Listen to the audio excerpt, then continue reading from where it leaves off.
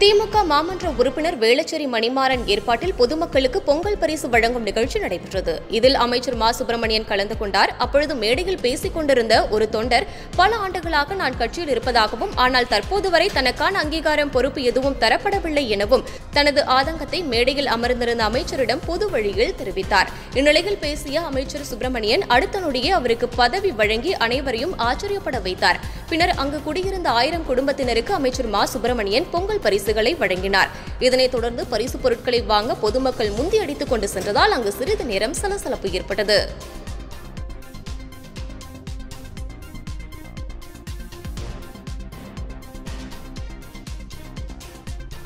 பதினாறு இருக்கும்போது நம்ம கழக தலைவரும் அந்த அமைச்சர் அண்ணா இதுக்கு தான் நாங்கள் ஐயாயிரத்தி நாற்பத்தஞ்சு பேர் வந்து நாங்கள் கழகத்தில் இணைஞ்சிருந்தோம்.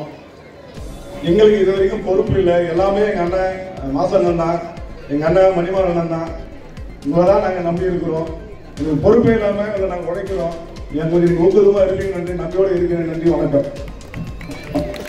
தான் இது எல்லாரும் வந்திருக்கோம் யோகா மாஸ்டர் மணிமாறன் பேசும்போது பார்த்தேன். அவர் வந்து நான் நிறைய எல்லா நிகழ்ச்சிகளையும் பார்ப்பேன். ஐஐடியில் வாக்கிங்குமே அவரை பார்ப்பேன் ஒரு அற்புதமான செயல் வீரர். அவர் இது வரைக்கும் பொறுப்புல இல்லாமல் இருக்காருங்கிற தகவல் எனக்கு இப்போ தான் தெரியுது ஏன்னா எல்லாருக்குமா பொறுப்பு கொடுத்துருக்கோம். இப்போ தான் சேகரை கேட்டேன்.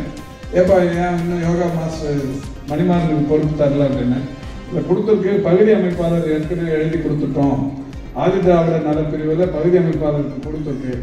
ஆனாலும் அந்த லிஸ்ட்டை இன்னும் அனௌன்ஸ் பண்ணல வந்து கொடுத்தாச்சுன்னாரு. ஆக அவர் நீங்கள் வரலன்னு சொன்னாலும் இந்த நிகழ்ச்சியில் அவர் நாம வேளச்சேரி மணிமாறனை ஆதிதிராவிட நலப்பிரிவின் பகுதி அமைப்பாளர் மணிமாறன் சொன்ன மக்கள்ல தப்பு சீக்கிரம் அதை வர